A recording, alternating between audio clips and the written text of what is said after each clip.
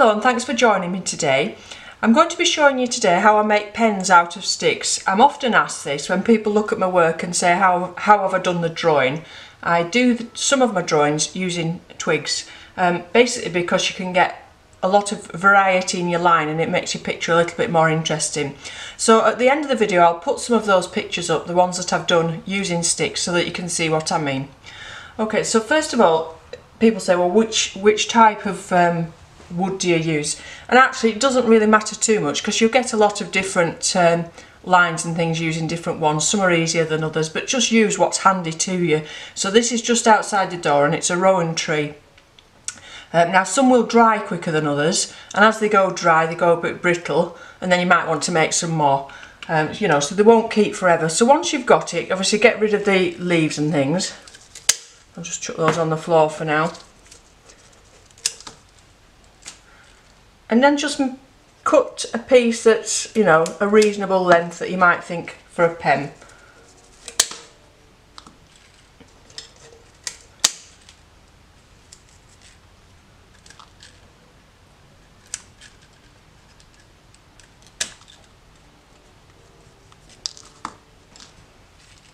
And maybe even a, a thicker piece there. And I won't bother with that piece Okay, and then once you've you've got that, just to make it more comfortable to hold, you might want to take some of those little nodules off there. So just nice and slowly. So this is a Stanley knife that I'm using. just be controlled. I use the back of my thumb to push it nice and slowly. And then to make your actual nib, just think about making a pen shape. So first of all, take some off one side.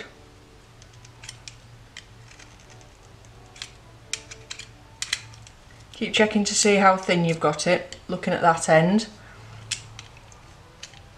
And make lots of different shapes and sizes.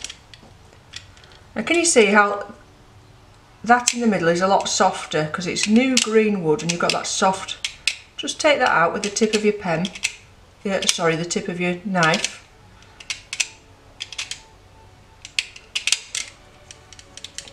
Because that's where your ink will go up to form a well, to hold the ink. And then just shape the tip to how you want it.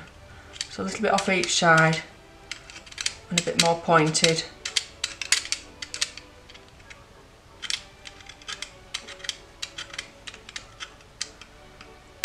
And you can go really fine if you like or you can keep them quite chunky. That's entirely up to you.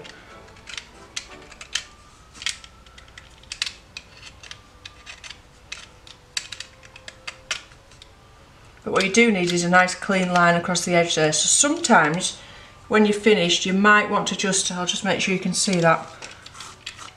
You might just want to, you know, cut across the end again to make sure that's nice and flat no bits hanging off it. Okay, so I'll put them out of the way.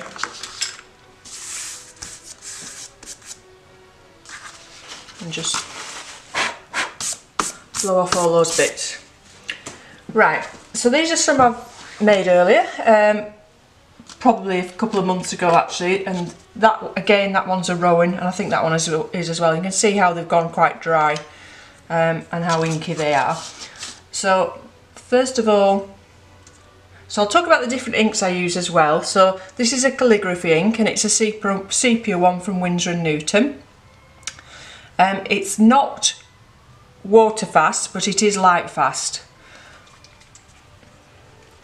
so I use it quite a bit and add water to it to make it move around a little bit to have a bit of variety. So it's not one you'd want to use if you want to keep the um, ink entirely where it is. And I used this one in the little tree drawing that I did a, couple of months ago and I'll put the link up here to that one if you haven't seen that. This was using this ink. Okay, so this is one of the pens I've had a while and you can see it's drying out a bit. It doesn't hold just as much ink but you can keep reapplying but you get a nice bit of variety in your lines, especially if you're doing things like trees.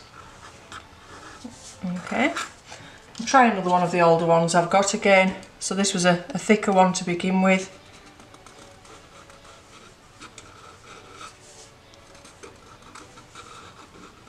And you're twisting it, you can see how the diff you can get those different um, shapes there with your line.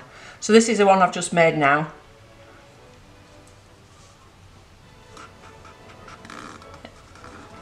and it won't dry out as quick as the other two because it's young and fresh it's got more it's holding more ink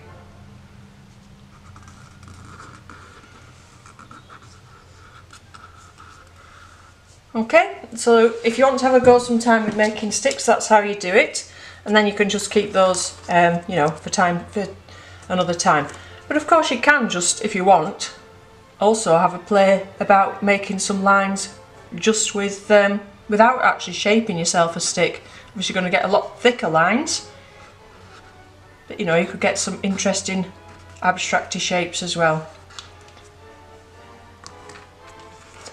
Okay so that was the calligraphy one. So the other two things I use for doing my drawings is this pen which you can see is cracked here I've had it for years um, I've got a few different nibs for it what I did actually do was buy some nibs um, off eBay. I think somebody was having a clear out and they come across a lot, lot of old nibs in a drawer and so I've got a, quite a selection of different widths of nibs. So you can see the difference with the pen and the sticks, how the pen is much more uniform. Um, so if you wanted to be more precise, you would probably go for the pen. Give that a wash.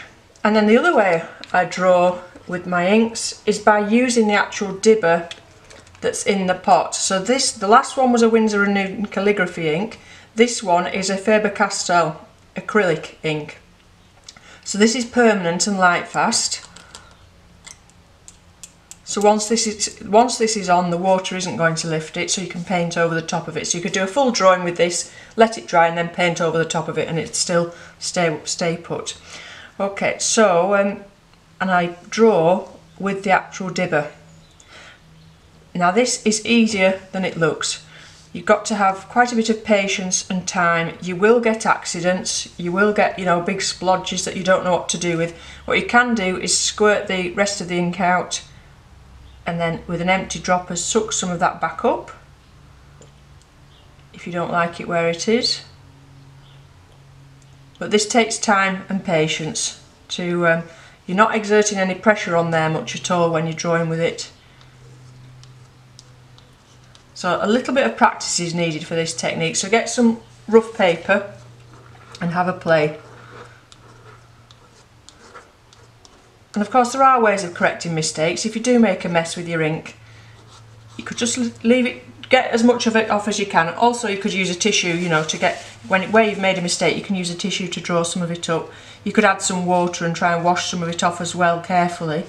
Um, but if you leave it to dry, then you, you could then go over it with some white acrylic paint or some white acrylic ink and then start and work on top of that as, as you know, with mixed media. So don't worry too much if you make a, a, a mistake. There are ways of correcting it. Okay, so that one was the Black Daler-Rowney and I've also used that quite a bit in the sepia so the same one but it's sepia and I've got coloured ones of these as well to use for different things but for my actual drawing um, when I'm doing the animals and trees and things I, I usually use either the sepia or the black sepia is a little less less harsh than the black and then I've got this other one as well and this is um, it's a bit of a pain this one because the top it seems to leak a lot whenever I open it I seem to be covered in ink um, so again, it's a Daler-Rowney one, and, a, and it's a calligraphy ink again, and it is light fast and water fast. Um, so it says permanence there, two stars, so hopefully it's not going to fade too much. Um, let's see what it says. Uh, none of that is in English. yeah, but I'm sure when I bought it, I bought it because it did say that it was water fast. and that's this is a bit more I mean it says brown on it but it's a much more reddy colour. Can you see that? So it's quite nice for some things. It just depends what you want it for. But I bought it because like I say it's water fast okay so those are the main inks that I use with my drawing like I say I'll pop some pictures up now for you to see what I mean about um, using the different techniques to get the different lines and things. Like I say, that tree one with the calligraphy ink, I show you how sometimes you do want one that's not water fast so that you can use that, um, the lightest, the ink where it comes out from the drawing. I'll just show you. Um, get a brush. You know, if you if you want to make a canopy to your trees and you allow the ink to go into that, that can be useful sometimes. You don't always want it to be completely water fast. Okay, so like I said, so I'll put the some pictures at the end showing the different ones, and if you did want to see the one where I use that, I'll put the link to that down below as well. Okay, so if you do have some drawing inks, enjoy uh, having a go with them. And of course, don't forget, you can always use a brush to draw as well. Uh, that was one thing I did mean to say and I completely forgot. So, um, you know, quite often it's easy just to use a brush as well. And again, you can get a variety of line by the amount of pressure that you put on your brush. Okay, so enjoy your drawing and uh, thank you for watching and hope to see you again soon. Bye for now.